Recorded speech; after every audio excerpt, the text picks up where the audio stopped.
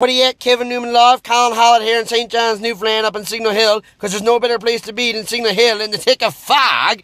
But right now everybody's talking about Kathy Dunderdale resigning and wants to know why did she resign now? Because she was out to get us the whole time. Everybody knows that, right? Like, she, she comes in, she can't follow Danny. She knew it was impossible to follow Danny, so she was out to get us. Everybody wants to know how come we couldn't get a hold of her during the blackout? Because she created the blackout. She planned that, right?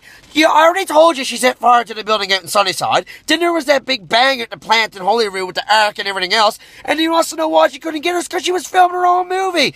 Mission Impossible, Thunder and Lightning, with the taxpayers' money, real conservative. And then Ron Jeremy's brother decides to walk across the floor and go over with the Liberals, and you change his last name to Lane for obvious political reasons, and we can't get her again. And people wants to know, where's she at now? Is she in Florida? No, she's not in Florida, are you nuts? She was up in the mainland filming her sequel. Special guest Mark Chipman, right? Bringing out the St. John's Ice Caps. They're gonna call it the Thunder Bay Ice Caps. Everyone knows that right? And if you think some, if you think some nuts in my head is in the clouds, it's not. I already told you. It's in the fog.